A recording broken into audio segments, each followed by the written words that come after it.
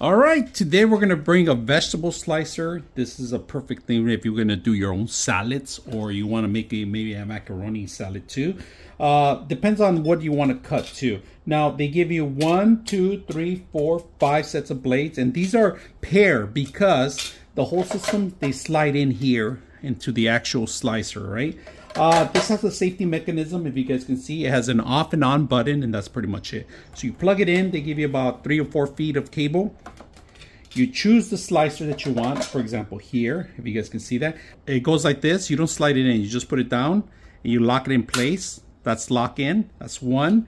And if you guys can see the bottom up, try not to touch the blades, all right? They're stainless steel. They're not dishwasher safe. You gotta wash them by hand, all right? So they're plastic, that's why. So lock in place and that's pretty much it. Just be careful because this is very sharp. So once you set that up, all you got to do is find the X spot. If you guys can see that, find it and it's already in there. Now you lock it in place in here, twist in place and there you go.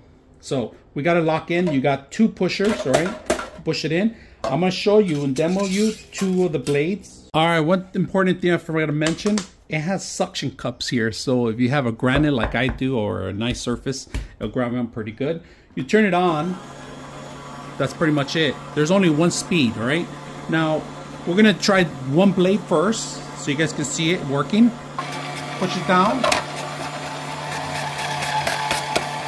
That's one piece. Push the other one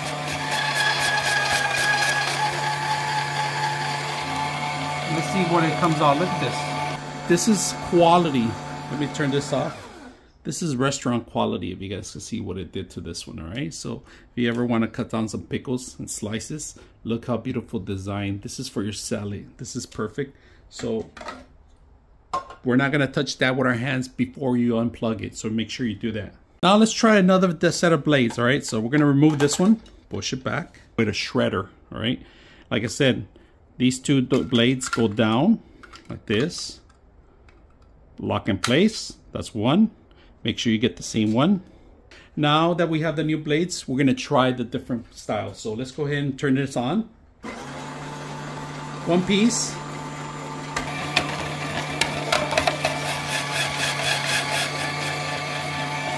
Do another piece.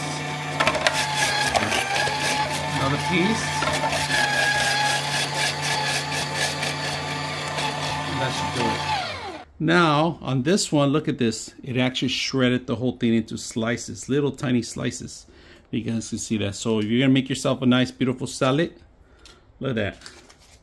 Nice shredded part. So different blades. I'm gonna put a little description of all the blades that it has, but in the styles they can do.